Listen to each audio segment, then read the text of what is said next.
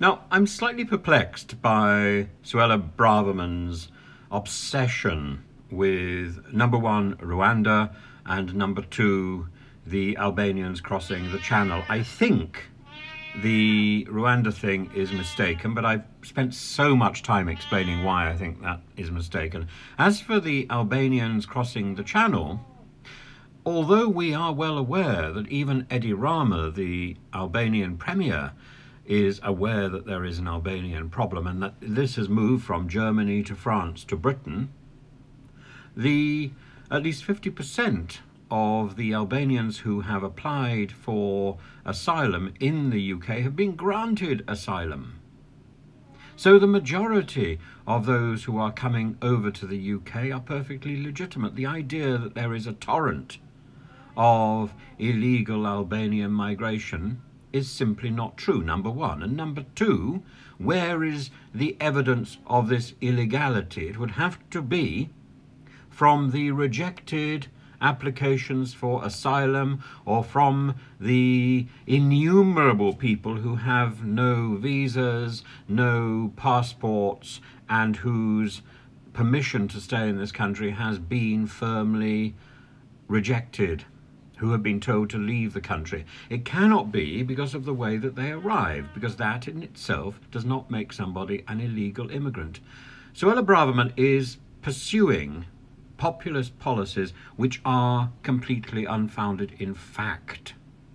And they're unfounded in fact because she hasn't got the bureaucratic details to hand because they don't exist, because there aren't enough people to process all the asylum applications that have come through, because there is a backlog this high which needs to be slowly sifted through. So, if somebody wants to do something in the present government, and I do recommend that they do, because I think the idea of illegal immigration is something we should probably pursue and stop, if somebody wants to deal with this, then they need to deal with the backlog of applications.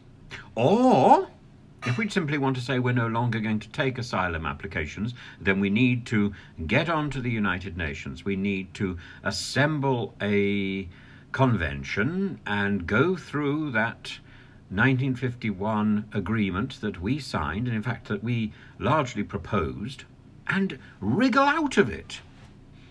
But we can't just make up our own mind and decide, sort of on impulse, that we're not going to accept people who have arrived on our shores.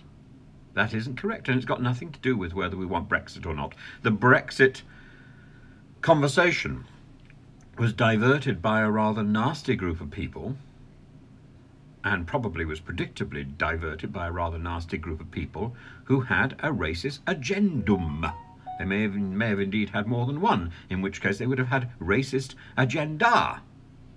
And where did that come from? Well, I'm not completely convinced it didn't come from UKIP itself, because as I observed in UKIP, UKIP was riddled with racism. Now, I'm not suggesting for one minute that Mr. Farage himself was racist, but he certainly didn't do anything to stop it.